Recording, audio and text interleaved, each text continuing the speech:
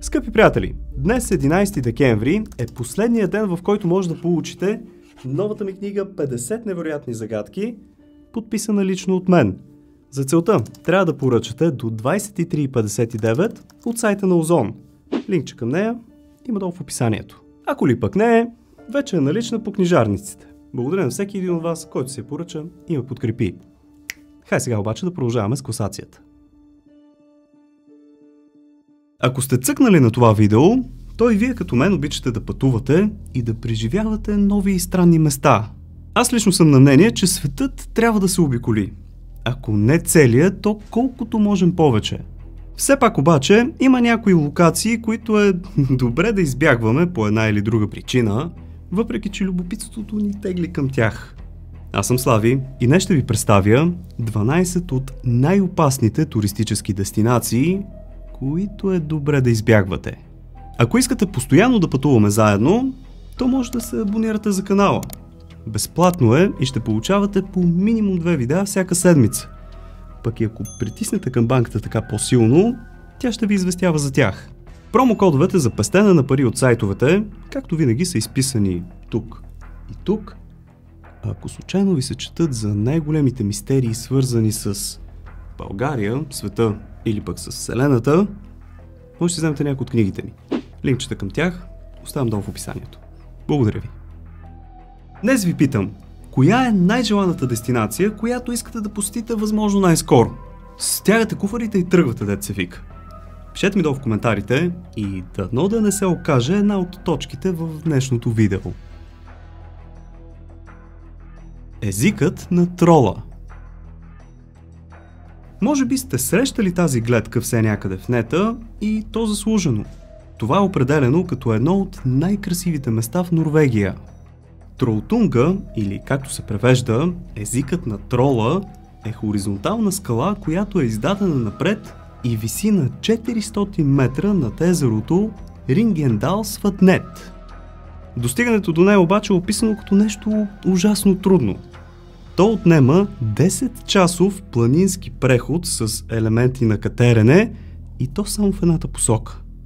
Въпреки това, хиляди хора всяка година се качват там през летните месеци от юли до септември. Толкова много хора обаче винаги е предпоставка за инциденти.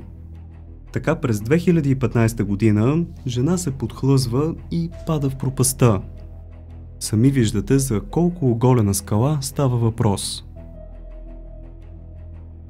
Пустинята Данакил – място без живот. Дори в най-екстремните места на планетата, все има някоя друга бактерия, която процъфтява и можем да кажем, че има живот. Това обаче не въжи за пустинята Данакил в Етиопия, защото там природата не дава шанс на нито един организъм. Приказна като рая, но и опасна като ада. Така я описват хората. Аз обаче с радост бих е посетил, но за съжаление достъпът до там е силно ограничен и контролиран по няколко причини. Първо, цялата местност се намира точно върху кратера на вулкан, който бълва токсични газове нон-стоп.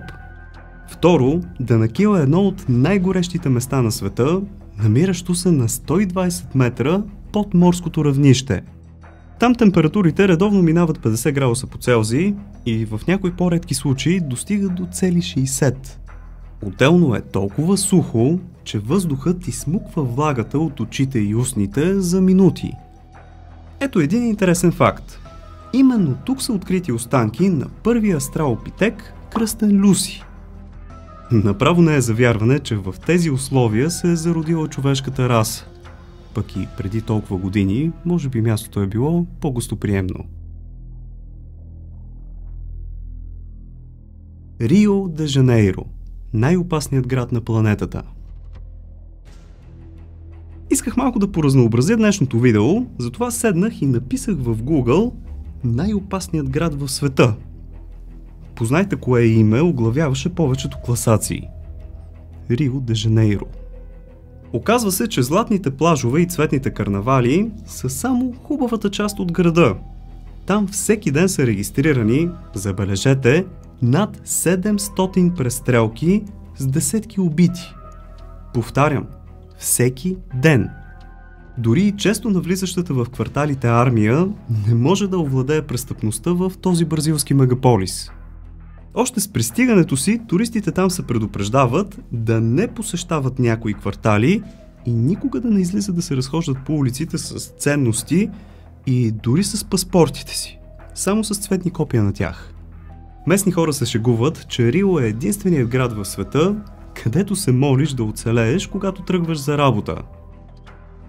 Естествено, това не пречи всяка година да се посещава от стотици хиляди туристи, които искат да видят Копа Кабана или пък разтворилата ръце статуя на Христос. Има ли хора сред гледащите, които са посещавали Бразилия? Ако да, пишете ми в коментарите дали наистина е така. На мен чак ми се очутя да ходя. Национален парк Мадиди. Неизучените опасности.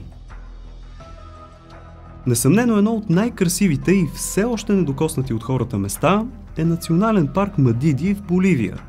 Но защо хората избягват да го посещават? Всъщност, причините за това са няколко, но нека ви споделя един факт. Преди около 2-3 години беше обявен за най-биоразнообразното местенце в целия свят.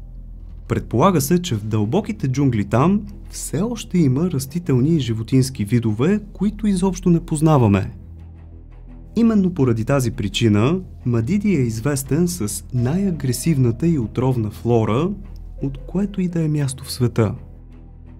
Ако отидете там без водач, дори кратък преход през неотъпканите пътеки може да се окаже фатален, тъй като по пътя си ще докоснете всякакви растения, които са токсични за хората. И най-лекото с което ще се разминете е обрив. Дори едно леко порязване може да е опасно, тъй като има десетки тропически паразити, които дебнат от всякъде. Пък и самия факт, че се намира в нестабилна държава като Боливия, също може да ви откаже. Но все пак, ако стигнете до него, задължително използвайте услугите на професионална компания. Екзотичните плажове в северната територия – тук може леко да се пообъркате, тъй като плажове в едно изречение с северна територия не звучи много привлекателно. Но вижте за каква красота става въпрос. Тези райски местенца са в Австралия и реално един от щатите им се казва непоетичното Северна територия. Там нещата са обърнати. На север е по-топло, докато на юг по-студено. Макар и толкова приказни, нито един от тези океански брегове не се препоръчват за семейна почивка. Сигурно се питате защо.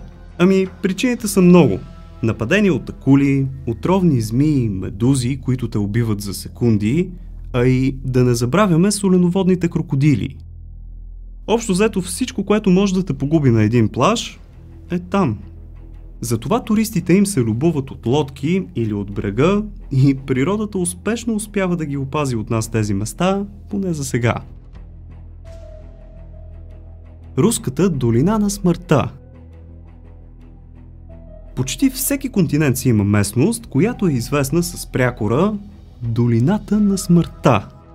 Най-познатата естествено е тази в Америка, но не ще ви разкажа за руската, която е дори по-опасна – Местността Кроноцки в Камчатка е територия на много парадокси. Вулканични изригвания, лава и врящи гейзери, премесени обаче с след, снегове и студено време. В тази долина се носи пласт отровен газ, който излиза от пукнатините и застига животни, дръзнали да търсят храна в тези пустинни условия. През първите години на проучването са били преброени над 200 трупа на животинки и за малко няколко члена на експедицията също да умрат заради натравяне с невидим газ. Тъй като е естествена падина, газът се натрупва и когато хората разберат, че са в опасната зона, може да е вече прекалено късно.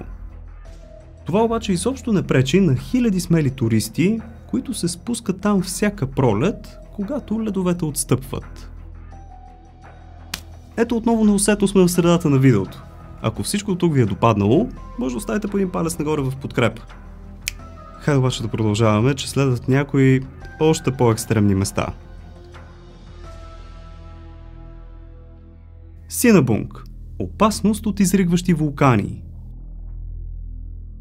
Местенцата около вулкана Синабунг са едни от най-живописните в Индонезия, особено ако на фон застане тази огнедишаща планина – всичко обаче се променя през 2010 година, когато вулканът внезапно се активизира и избухва.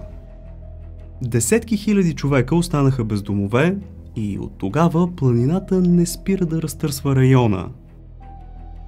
Въпреки огромната опасност, много семейства се завръщат в къщите си, защото просто няма къде да отидат.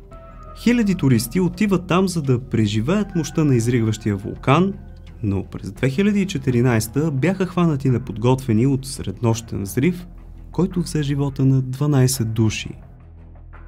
Тогава властите обявиха, че в радиус от 7 км е доста опасно да се живее.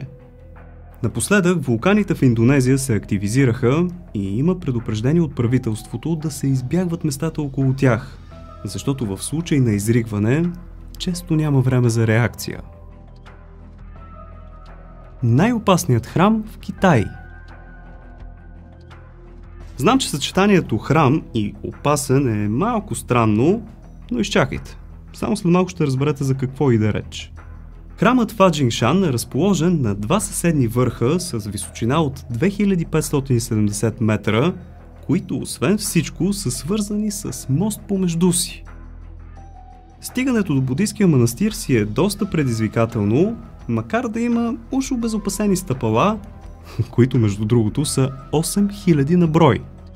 Толкова високо в планината, вятърът мени посоката си мигновенно, пък и много често маршрутът се оказва обгърнат в облаци. Естествено, най-голямата атракция на двойката храмове е мостът, който ги свързва. Препоръчва се преминаването му да е само в спокойно време, защото вятърът е способен да събори с лекота възрастен човек. Една от мистериите е, че никой не знае кога точно е построен този храм. Някои смятат, че това е станало около 600-та година. Пътеката на смъртта Ако искате сериозно да предизвикате себе си, то мястото за вас е пътеката на смъртта. Този екстремен път взима над 100 жертви всяка година и въпреки това хиляди смелчаци продължават да го използват. Разположен е по отвесна скала на височина от 400 метра и единственото обезопасяване са въжета, към които може да се закачите. Работници постоянно подменят дъски и клинове, като се опитват да я направят по-безопасна, но сами виждате, че това е невъзможно. Най-интересно става, когато се засекат две групи, които трябва да се разминат някакси. Тогава по-смелите се прехвърлят от външната страна – може би вече се чудите за какво е направена и каква е крайната дестинация. Ами, ето я. Това е храм на един от върховете на планина Хуашан, който е на 2160 метра над морска височина. В пиковите моменти по време на празници посещаемостта е 10 000 човека на ден. Ами, освен да пожелая успех в разминаването. Сега, искам да бъдете напълно честни долу в коментарите защото правя проучване. Вие бихте ли се пуснали по тази пътека? Аз лично да. Връх Вашингтон. Най-лошото време в света. Пренасяме се в Съединените щати, където едно не чак толкова високо място се характеризира с ужасно време през по-голямата част от годината. Връх Вашингтон се намира в Нью Хемпшир и е висок само 1917 метра, но почти през цялата година има или снеговалежи, или екстремно ниски температури, или по-силни от ураганни ветрове. Всъщност там е измерен и рекорд. Вятър със скорост от 372 км в час. Само торнадо е по-бързо от това – въпреки това, много смелчаци се пробват да устоят на природните стихии и се борят с рекордните ветрове. Може би за това до момента там са регистрирани над 150 жертви, но все пак интереса не намаля. Затова достъпът до върха е позволен само когато метеорологичните условия го позволяват.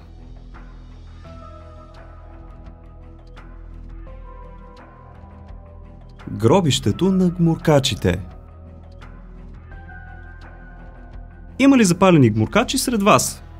На мен лично винаги ми е било интересно и съм искал да пробвам, но след като попаднах на тази дестинация, нещо започна да се отказвам.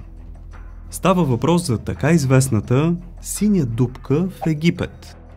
Това всъщност е вертикална пещера, разположена край бреговете на Червено море и е известна като Еверест за гмуркачите. Дълбока е цели 130 метра, а широчината е 50 метра. Но истинското предизвикателство е 250 метровият хоризонтален тунел, известен като Арката, чийто изход излиза в пукнатина наблизо. Тя има разклонение, което свързва пещерата с открито море. По дъното все още има тела на загинали гмуркачи и тяхната екипировка – те са оставени там, защото близките им казват, че обожавали морето. Най-вероятната причина за смъртта е така нареченото азотно опиянение. При голяма дълбочина този елемент навлиза в кръвообращението на човек и предизвиква халюцинации и еуфория, а след това липса на контрол върху тялото. Така изпадат в кома и остават там завинаги най-опасният път на планетата. Следващия път, когато пътувате по някой по-тесен път и жена ви кресне, ами сега, как ще се разминем? Покажете и това видео. На вашите екрани е считаният за най-опасен път в целия свят, който всяка година взима около 100 жертви. Та ето там вече разминаването е предизвикателство – Вижте само кадрите от Top Gear, които преди години направиха филм по темата.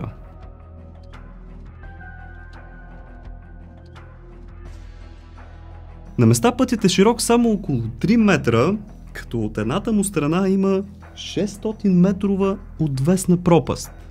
Рейсовете едва минават и има много случаи, в които нещата се объркват и макар десетки помагачи, всичко свършва в дерето с много жертви. Еднолентовият път е дълъг цели 70 км и все още си остава най-прекия път от Лапас до амазонската част на страната. Теснотията обаче е само един от проблемите. Там всеки ден вали, образуват се кални ями, мъгли, падащи камъни, абе, не напразно е известен като пътя на смъртта.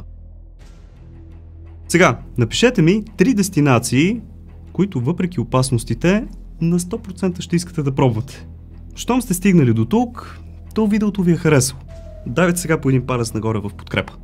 Може да се абонирате супер лесно и безплатно за канала. Е, от тук горе. И маркирайте един път към банката, за да ви известява когато кача нещо ново. Случайно имате още свободно време, което бихте искали да прекарате, научавайки нови интересни неща ли?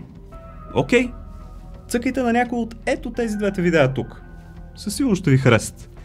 Благодаря ви, че за пореден път бяхте с мен. Чао! И до нови срещи!